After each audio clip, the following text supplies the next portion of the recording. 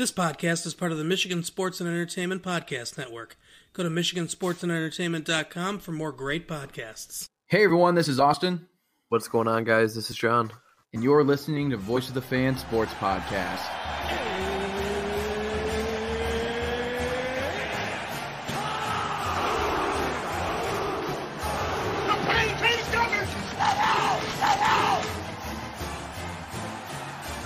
All right, John, we are back. Huh. Rough. Rough. I don't know if that's even the best word to describe what happened to Purdue against Minnesota, but oh, Lord. don't even know what to say. You all right there, bud? Gosh, literally just the worst possible thing happened ever, ever. For her, for those that don't know, I don't know how you wouldn't know. Uh, Purdue lost starting quarterback Elijah Sindelar and our star wide receiver Rondale Moore in the same play. Um, it was a rollout. Um, Moore looked like he just kind of got was getting pushed off coverage, and his his knee looked like it got pretty hyperextended. Took a weird step, went down. It looked like Sindelar was going to look for him, and because he fell down, he hesitated, and then he gets pile drived into the ground, and he doesn't get up. And then the thing that they didn't really show was Rondale Moore, try, Rondale Moore trying to get up and walk and collapsing because he couldn't put any weight on that knee. So just oof. Just I horrible, horrible, horrible to see those two go down. Um, it looks like you know today's or tonight is Wednesday. Um, some reports have already come out. It looks like Sindelar's probably done for the year. He is going to be long term. He had surgery on What- his collarbone that he broke. Is- did he already have a redshirt year? Yeah, but he's got a second year already. So he applied for a second year because Oh, so he of already applied knee tendonitis. For, so he already applied for it. Uh, Yeah, so I mean, I I don't know if you can get a third year, but I I've- he probably wouldn't want to. yeah, I was gonna say I don't think I've ever seen that. I know Michigan State's punter got a sixth year, but I don't. I don't think I've ever heard of a seventh year. That's a bummer. Talented kid Yeah, too. and- I mean, obviously, I you, you never know, but I, I feel like a lot of these guys have NFL aspirations. He's got the prototypical style. I mean, big arm, uh, height, but these injuries are just killer for him. yeah. and I was thinking to myself, this is what's going to hold him back. Um, obviously, he was off to a jumping year, like nine touchdowns, two interceptions, led the country in yardage, and then concussion on like the last play of the game against Vanderbilt. Comes back against Minnesota and breaks his collarbone. So, So, uh, that's tough to see. I guess the somewhat optimistic news is Rondo Moore's not out for the year, Yeah. and if Now you told me. I, I- I mean, ask looking at that injury, it looked bad. I wanna, well, actually, no, that wouldn't. Never mind. Never mind. I'm not even gonna say that. Wouldn't make What? I was gonna say, but Ronald Moore is gone after his third year, anyways. I was gonna say, like, do you want if, if this year is lost, do you kind of want him to maybe redshirt this year and come back? But he's gone regardless after his third year. That he's gone once he's eligible. If he continues at his pace, he's gone anyway. So Yeah, I would think he's, I think that one, he's- anyways. He's he's tracking to be a first round draft pick. Yeah, So yeah. It, it would make sense in my head if he wasn't like a first round talent. right. But um, he's week to week. Uh, he won't play against Penn State, but they're not ruling him out. Uh, I think for Maryland, which is October, not tenth, maybe the week after that. I don't know. Uh, Sixteenth, probably. The sixteenth. No, I'm sorry. I- so- what the? What am I talking about? We're both out of it. the 16th Okay. would be a Wednesday. Uh, so whatever day the next day they play after that, that's the day we're gonna go with. Right. So a super ambiguous answer. Uh, and you know what? Cool. We'll go with that. Um, but it, which is encouraging, obviously, because it's it. You want him back. I want him back at 100. percent I don't want him to come back too early and ruin his his future. Um, playing for not necessarily for a team that's a lost cause, but this year is probably the lost cause. And and I was talking to some other Purdue fans, and I was telling them this might be the year that we all expected to happen year one with Jeff Brohm, but we turned in a 500 year and, uh, you know, went one loss under 500 playing. We went against Auburn, who lost maybe not that many people, and they're uh, top 10 in the nation. So that's who we played last year in a bowl game. But obviously, sitting at one and three, we're going on the road to Penn State. Um, you have your two best defensive players out, your two best offensive players out. You're starting a bunch of freshmen. I mean, just tough. Um, but before we do that, we'll we'll dive into to Minnesota. Um, I guess we'll talk about the bad first, and then there. I guess they're you know glass half full kind of guy. I am. There is some some optimism here, but um, so to I'm just looking at the stat. Tanner Morgan, the quarterback for Minnesota, 21 of 22, 396 yards, four touchdowns. RPOs did not treat you guys well. No, it seemed like um, every time I turned off the Michigan State game and put the Purdue game on, if Minnesota had the ball, it was like an RPO, just like tearing you guys up. And it's like the simple RPO concept of just the run slant, you know, nothing too crazy. And we got toasted for three touchdowns on that. I mean, I, I don't know. Obviously, the linebacker, you're missing your best linebacker that maybe has a little bit of an impact there. Uh, the corners, I, I, what do you? I, I don't know. I just have no answers for why that happened. There was no adjustments made until, I mean, I think after halftime, and then they ran the RPO streaks, and it's, it's I don't know if they scored or not. I, I mean, I mean, basically led them down the field uh, to a score. But Minnesota's offense was humming. I mean, Rodney Smith came back uh, from his injury, 22 carries for 115 yards. You know, average uh, five and five point two yards a carry. The receivers, I mean, you're I'm looking at these averages. Rashod Bateman did the most damage, six catches, 177 yards, almost a 30 yard average, two touchdowns. Chris Autman-Bell, three catches, 97 yards, over 30 yard average and a touchdown. You know, Tyler Johnson, their stud, eight catches, 73 yards, 9.1. So he's the lowest. And then you have Jake Paulson, tight end, and Rodney Smith, the running back, with over 20 yards a catch. I mean, talk about getting absolutely gashed on defense. And the secondary was supposed to be the unit that had some experience, had some guys that you were excited about as a Purdue fan. And going into Penn State, the corners start the starting corners are different. Um, so I mean, Dedrick Mackey and Kenneth Ma- Kenneth Majors didn't play. I don't know if he was hurt. I was actually really um happy with Kenneth Majors play. I don't know if he's been hurt. I know he was hurt going into the TCU game. Dedrick Mackey, I wasn't exactly thrilled about. He's the one that gave up the the short yard completion, the short uh, field long completion Nevada on an out route, which I mean, you just got to blanket that thing to a freshman quarterback. Uh, he just plays soft, not necessarily in his tackling because he's a good tackler, but I don't know if he trusts his speed because he just plays off the ball and is not aggressive attacking. And I mean, it kind of costs Purdue a lot. So I think Corey Trice and Jordan Bonner are the two guys getting the nod against Penn State. Uh, so this is supposed to be a team that was the secondary was supposed to be your strength, and obviously it's not. You and I'm, like we said, Lorenzo Neal is supposed to come back. Penn State, he's not coming back. Uh, Markus Bailey obviously gone for the year, so just really, really tough. I mean, defensively, just I don't know. George Karlaftis, though, I will say, stud, um, absolute stud. He's doing his thing, um, and I really think that's that's like the bright spot. I think Jalen Graham's doing okay. Um, excited to see Corey Trice play corner. He transitioned from safety to corner. Uh, looks like a big dude. So we'll we'll kind of see how that goes. Um, but yeah, not a lot of good happening on the defensive side of the ball. Offensively, uh, we got to see a lot of freshmen play. Um, so I, I, you know, at at what cost? You know, we'll see if uh, if Connor can even can put a the Thanos um, line in there where it said he says it cost him everything. What did it cost? Everything. You know, at what cost did we get to see all these young guys? Literally everything. We everything to see these guys play. Um, but I think Jack Plummer continues to look confident and comfortable running the show. I think the offense is going to start opening up for him a little more. Um, he's got a really pretty throw, really nice ball. I wish you'd put some more zip on some balls, give his guys a little bit better of a chance. But uh, you know, the dude balled out. Um, he did get picked off twice.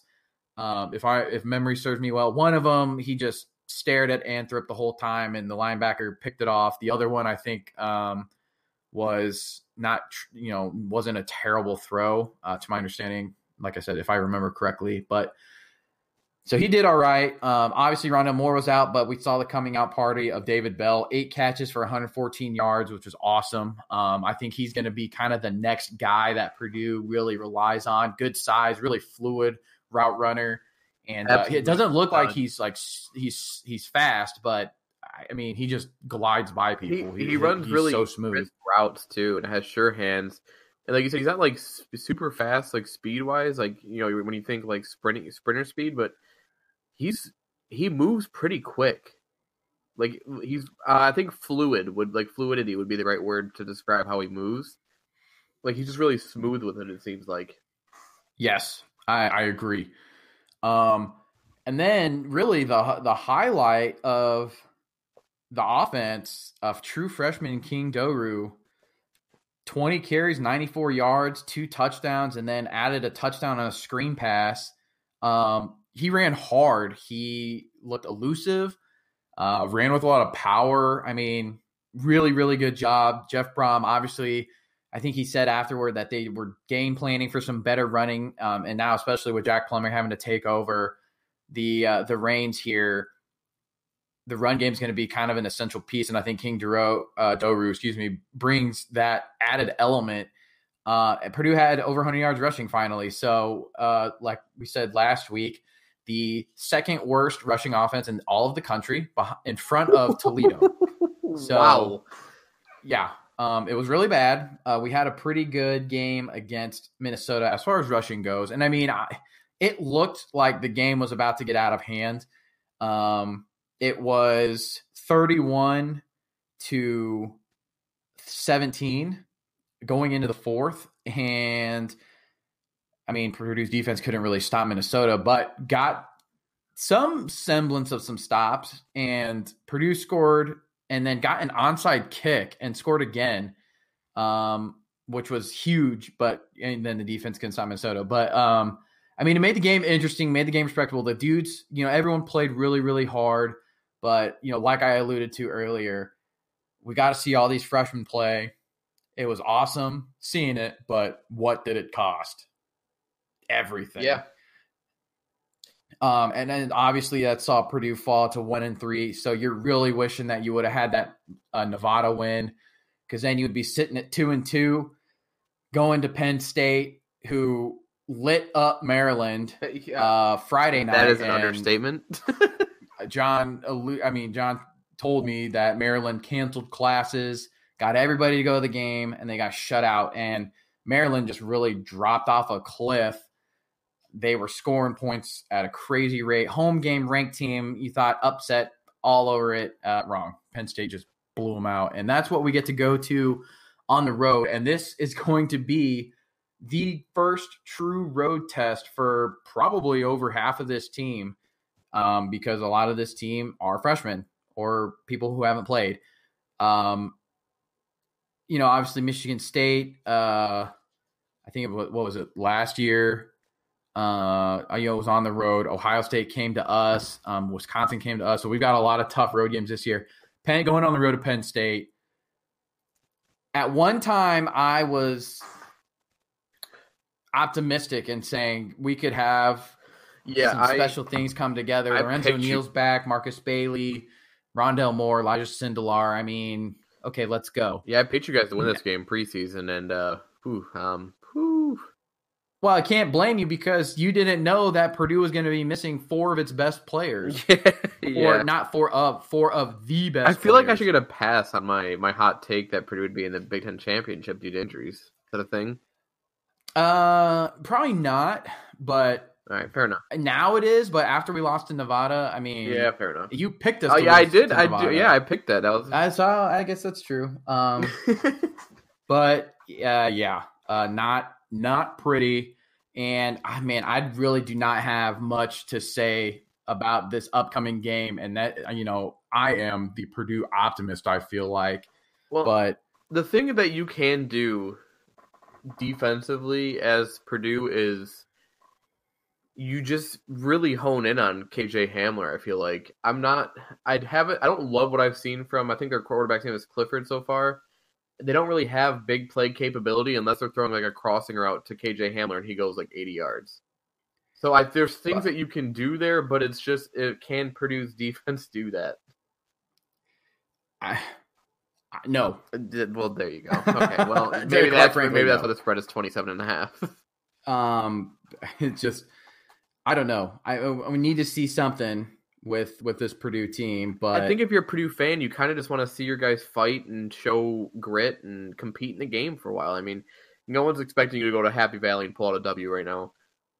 Yeah, and that um, I mean, I agree with you. You want to see the freshmen. I want to see how Jack Plummer right. handles the road test. I want to see how the offensive line, who a lot of these guys are going to be there next year a, and are going to need to take that step up. How are they going to do against Penn State? As much as it um, sucks, like living in the future, like I mean, because in sports we all want to live in the now. We all want our teams to be, you know, good right now. Like, give me championships now. But Purdue's building for the future right now. They you guys get a lot of young guys coming in now. Like you said, Plummer. I mean, he's gonna be your guy. I mean, unless uh, Alamo somehow comes in and beats him out. But Plummer looked he looks all right. He looked solid against Minnesota. Looked like a young QB, but showed some talent, especially when he became confident. I remember texting you during the game. He made a couple of confident throws when I was watching. So he's got the tools. You just want to look to see him continue to get better. King Doerue, uh, another positive you know potential guy there at running back. You said oh, young O line, just some pieces to watch out for. I mean, it's tough to really enjoy a one and three start, but the rest of the year you kind of just want to see the development of these players. Yeah, and I mean, really, that there's not going to be any keys to win the game because I honestly do not think we have a chance. But yeah, to your point, really, it's just going to be what does this team look like against a ranked, a highly ranked team on the road uh, you know, it, it's not the same team as that beat Ohio State. Um, no. so it, it, it's how how are we looking? What what's our response to adversity? Obviously, losing all of these good players that we have, but uh, yeah, Jack Plummer. Obviously, it's going to be tough on him. What's the line going to do? What's the running game going to look like? Uh, Penn State's front seven is pretty good. Um, the receivers, how are they going to do? Are, is Penn State just going to press the whole time and just make life hell? Uh, is anyone going to get away? Um, and then the defense. I mean, I'm looking at. I'm just going to watch Karlaftis as he continues to develop. You know, Minnesota's line was huge, but he got a one and a half sacks. Uh, Penn State's line is not as big, but probably more refined in my opinion. So uh, his continued development. How does he continue to look? Because obviously he's going to be great for this year and and the next two years. Uh, because he's probably going to go in the draft as well. But um, you know, definitely want to see see that. I want to see how this what what the secondary looks like and how they play uh, as well. Obviously, swapped out the corners. Um, you know, the safety. I thought, you know, I thought Navon Mosley had a bad game. I thought he looked soft. He looked tentative. Uh, ten, you know, just did not look like the the experienced safety that you needed. Um, and, I mean, so how does that respond? Jalen Graham, you know, Simeon Smiley got called for a really tough pass interference call that kept a, a, Minnesota drive alive while Purdue was trying to fight back. Excuse me, but uh, yeah, it's really just gonna. It, I think this year it's chalked up to how does the development look? Do we continue to take steps forward despite losing, or are we just kind of you know circling the wagon a la the Darrell Hazell years where it just doesn't look like anything's really happening? Um, Did you like Darrell Hazell when he first came in? You know, obviously we I because he did I think what was it at Akron? No, Toledo, Toledo. Um, you know, he, he, Toledo was a top 25 team when he was the coach there. So right. like, it made sense that he was a hire, but then as things started to fall apart, I found out that he didn't even like recruit the guys that made that Toledo team good. They were already there. Yeah. Um, and then hearing his recruiting process was just awful. There were some kids that were really close that were probably locked to Purdue if he offered and he didn't. Nice. Um, and, and they left. It was just it was just a disaster. Um, and I mean, like when he got fired midseason, and we had the interim wide receiver coach, coach, you, the team played harder. They weren't better, but they played harder. And I think obviously Jeff Brohm came in. He added maybe one or two grad transfers, and the team I mean, obviously went 500, won a bowl game. I mean, it was it was phenomenal what he did with that team. So, you know, I it, it's going to be very similar to the Hazell years, but the caveat: really good coaching. Um, I just don't know. I mean, Nick Holt's got a good pedigree, obviously USC defensive coordinator, but I mean, the defense continues to get gashed. The secondary is not aggressive. You know, is that the DB, the new DB's coach? Is that the new, you know, is that whole? I don't know, but I think something on defense has got to change. I mean, take chances. If you get beat taking chances at this point, so be it. But don't give up points and yardage being scared. Is all I'm saying. Uh, so I would like to see the defense be aggressive, the secondary to be aggressive. Um, so really, that that's it. That that's Penn the Penn State game. I mean, there's not a whole lot more to to to talk about with that. But uh, um, you know, recruiting. Obviously, there there was a a pretty good sized weekend. Uh, that was at the Minnesota game. Um, you know, Purdue continues to do well on recruiting trail. So really, it's just a matter of time, really, for Purdue. I think Jeff Brohm really needs to start getting the big fish offensive linemen because clearly that is the issue, and defensive linemen, which I think he's doing already. But uh, you know, no real news in recruiting. Yeah, obviously Purdue basketball is about to start up. Um, but uh, outside of that, John will do around the horn. Week five. Uh, Real quick before we get into that, man, you know it's Yeah. you know it's been a rough year when Austin's done talking about his Boilermakers. Twenty. yeah, literally like twenty minutes. He's like, I can't, I can't do this anymore. I mean, they, I, what is I know. literally I know. not. I just there's just nothing. It's, it's gonna There's be really like my breakdown nothing. against the Ohio State game. It's gonna be hope your defense shows up and pray that we can score some points. Other than that, you're probably getting smoked. Yeah, I, it's just there's really not much to say. Yeah, obviously, I think Penn State wins the game against Purdue. Look out for the young guys, see how they do. Um, you know, hope they make it close ish. You know, not the 27 and a half that uh, you know, Penn State's favored by. But we'll see. You know, who knows? Um oh, gosh, it's, it's rough. yeah. But uh, anyway, around the horn, here we go. Um, so just something interesting before we get into the Big Ten play. Uh, Duke is their only loss this season came to Alabama. Yeah, They're three and one. that's really interesting. You pointed that out. Actually, who they play so far? Uh, no one, Oh, but they look really good. Yeah, I mean, So- they, they hung with Alabama for a decent bit. Like they were, they looked like they could play with them for a while, and then Yeah, Alabama kind of figured out their is- offense. But yeah, Duke's Yeah, the forty-two to up. three score is not. yeah, I mean, it's it's you know, it's it's Bama and it wasn't good, but I think for the first, pretty much first half. I mean, what the first half was a fourteen nothing or something.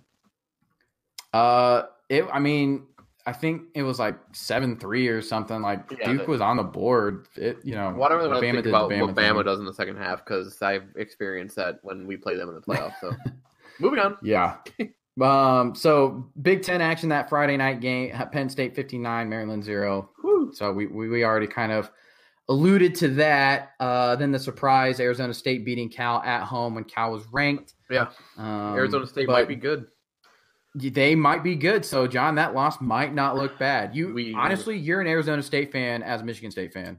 Th- Yeah, we'll get into that more. I, there's some question marks I have about our team more than I really wanted to have at this point in the season. But yeah, uh, it still doesn't make the 10-7 loss at home make me feel any better. Yeah. Uh. Then I. I mean Iowa sleeper in the West, Mhm. man. Yep. Yep. 48 to 3 No took care one's of talking business. they look sharp. Yeah, they look sharp. They're creeping up the rankings. Um, Wisconsin pretty readily beat Northwestern. Northwestern's offense is just garbage, bad. but uh, they made a game of it 24-15 that final score. Um, so, but Wisconsin continues to roll. Honestly, 15 points. That's got to be like the most someone's put on Wisconsin this year, right? It is by one point. Michigan put 14 on them. There you go. Go Cats. Go Cats, Um, baby. Outshine those Uh. Michigan blew out Rutgers in their bounce back game, which is expected. That was not uh, really varsity to versus freshman there. team. Uh, yeah. um. Not to mention Rutgers fired their coach after that game. well, poor guy. What are you gonna do with that? I- um, who takes a job at Rutgers? Honestly, what are you in charge? Yeah, I don't know. Uh, then obviously we'll talk about Michigan State, Indiana. It was a last second, you know, Mhm. field goal and then fumble uh, into the end zone for, Yeah. for Indiana to lose that. Honestly, I we'll talk about it tomorrow, but all I'll say is Talking about it, it was uh, Indiana. You're expected to win that game at home. I mean, Indiana's like sneaky good most of the time. You got to like crush them early, otherwise they hang around. And I don't think Michigan State did yeah, that we- well enough. And briefly, yeah, I'll let them hang around. Like you said, it was just everybody knows Michigan State. If you can get them to play sideline to sideline, because for whatever reason we don't like to adjust until it's too late to where we're playing ten yards off wide receivers. So Michael Penix Jr., who to his credit, I think is going to be really good, tore us up by just hiking the ball, looking to his left or looking to his right, having a wide receiver there on, on the flat on a screen and just throwing it to him and getting extra yardage. And they did that to us all the way down the field. The third quarter, I think we had the ball for 47 seconds. So, what do you want to do when you beat a team when you can't stop their offense, which was surprisingly good for Michigan State? You keep them off the field. Brights, uh, positives. Michigan State's offense won us a game. I can't remember the last time I yeah, said that. I was gonna say that was that was big. Lewerke's 18 for 36 is kind of misleading. He had to throw a lot of balls in the dirt due to pass rush, and he, a lot- like I think we had eight or nine drop passes. So, but he he he had 75 rushing yards, so he's starting to get comfortable running the ball again. So some positives, negatives. That defense. Whew. Um, hopefully just an off day because they're playing uh by far the most talented team in the Big Ten on Saturday. So we'll see how they prepare for them. and arguably one of the town, most talented teams in I the country. personally think, even though they have not played anybody, I think right now they're the best team in the country. I think Justin Yeah. Fields is special, and they have Yeah. a guy named Chase Young on the other end of the ball, and I don't know Jeffrey Okudah, and I don't know just all these other guys that Ohio State has. their corners are all uh, NFL prospects. So yeah, that, that- you know I I, I is, don't. is Ohio State the new DBU? I mean, I, I- don't know. I don't, and really, where do you see a weakness on this Ohio State team? O line, Yeah. maybe, but they even there they're solid. They're not bad.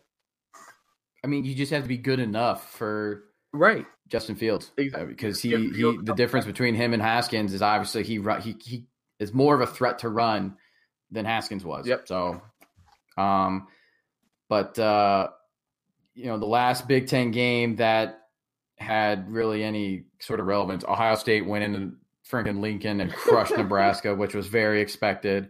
Stupid for game day to go you there. picked Nebraska. You picked so Nebraska high. to cover, bro. Well,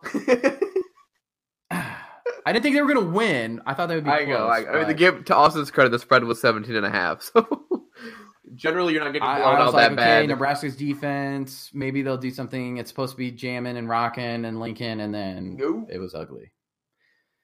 It was ugly. Um, then the just the last thing, really. Uh, I don't know if you count any of the Clemson North Carolina game, but Yeah, yeah. boy, Clemson does not look I Great. was thinking like, okay, you know, it's a couple weeks in the season, all this hype. I mean.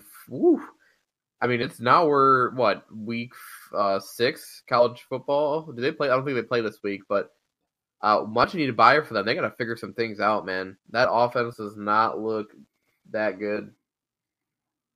Yeah, Lawrence is throwing a lot of interceptions. I mean, I, I don't know. I mean, it was a road game, but I mean, North Carolina really could have sent the game to overtime. I, if I'm at, I, you know, I get going for two. Why the hell not? But the way your team was playing, really holding out against Clemson, why not go to overtime and just you're at home, put them on the ropes. The pressure's all on them. You know, going for two, I get it, but going to overtime and see what happens, man. You know that that's my thing. They went for two. Oh, I, the strangest option, you know, read option uh, play call to to go for the win. Got stuffed. Uh, is stupid, but anyway, uh, something interesting to watch uh, as far as Clemson is concerned. But um, you know, really moving on quickly into Week Six. There's some of the ranked games. Uh, Iowa at Michigan, Big Ten. That's at noon. That that'll be a good one. Um, Auburn at Florida. So seven Auburn at ten Florida, which will be also interesting. Um, I think Texas West Virginia's got a chance to be pretty good. Yeah, it's got potential. Um, let's see here. Uh, Cal and Oregon. is a night game on Saturday, and then obviously Michigan State, Ohio State is the ranked battle at night, Mhm. which, uh, you know, we'll kind of see how that goes. Yeah, that, Honestly, I don't know it's going to be as bad. I think Michigan State will show up, but how much I- they can do, I, I- don't know. and it's not even that I think Michigan State's a bad football team. I just think the talent gap between Ohio State and everybody else in the Big Ten, maybe besides Wisconsin, I it's it's that much. It's that big. Like I don't think anybody can really stay in a game with Ohio State if unless you can score back and forth with them. There's no way. Right. I, I mean, who knows? It, it's there. It's crazy. It is crazy. So,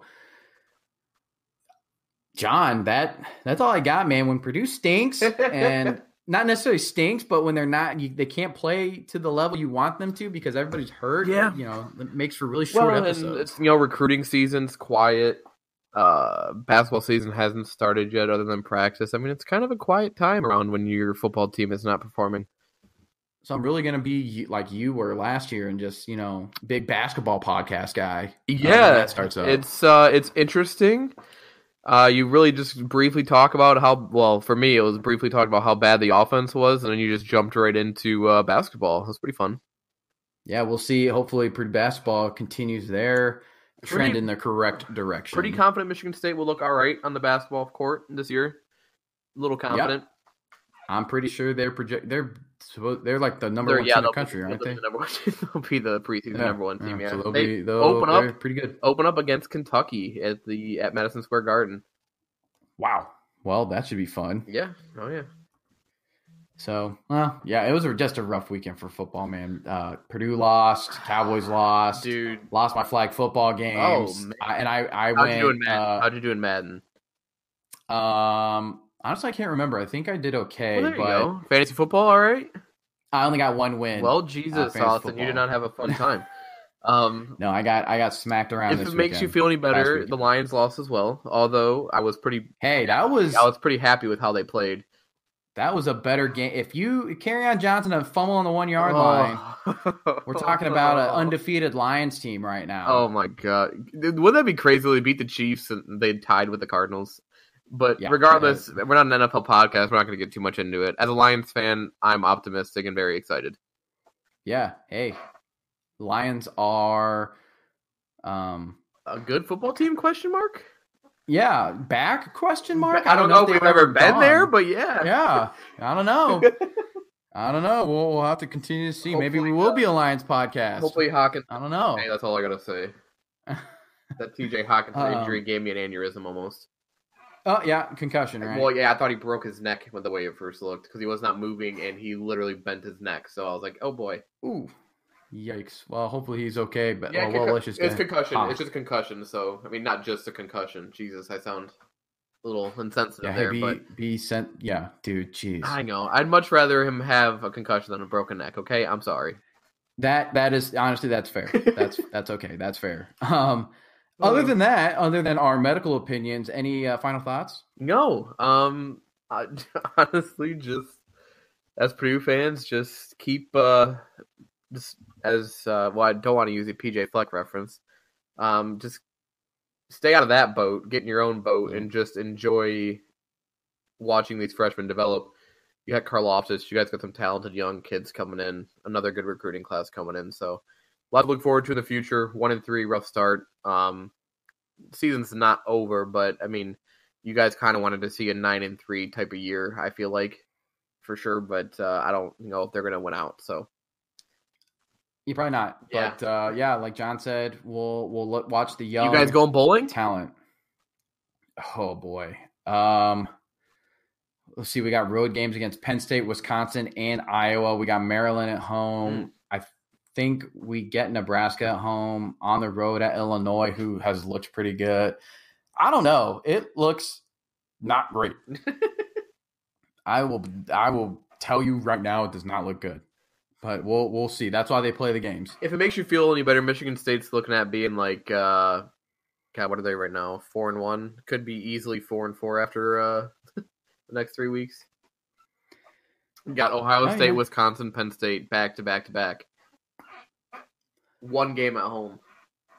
It'll be a, it'll be a test certainly, but uh, you know, At least you guys have your best players. Uh, uh, yeah. Well, I experienced that last year, so I know how you feel, friend. You did. Yes, you did. So the the playing field's been even. But before we babble on, Yeah, we could continue talking on forever, but we're not going to allow that. as always, I'm Austin, co-host John Emmons. Thanks for tuning in, and we will see you guys next time. Hey everyone, thanks for tuning in. If you like what you heard tonight, subscribe to our podcast on iTunes, Voice of the Fan, and also give us a listen on SoundCloud. And if you could, like our page on Facebook at Voice of the Fan and follow us on Twitter at Voice of the Fan PC. Thanks everyone.